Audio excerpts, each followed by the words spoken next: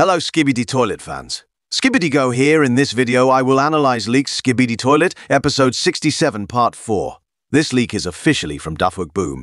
Before continuing, please click like, subscribe and help me to reach 100,000 subscribers this year. If you think that this is a fake leak, you are very wrong. Because this is official from DaFuqBoom. I got this leak from the Just Cozy channel. DaFuqBoom said that episode 67 is not finished yet. He also said that part 4 is real. just said part four. Uh, if you if you don't come to my streams, that's your fault. But Boom was in here talking. I'm gonna put it right here. He said part four is real, so we should be expecting part four. Yo, then I got the second leak from an elite cameraman. He got a delivery from DaFuqBoom. Part 67 is not over.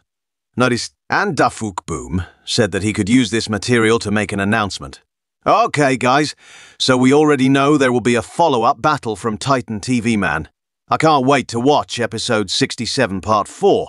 Okay, guys, Skibidi Toilet episode 67 part 4 will probably be released on November 21 or 22. What do you think? Write in the comments column. See ya!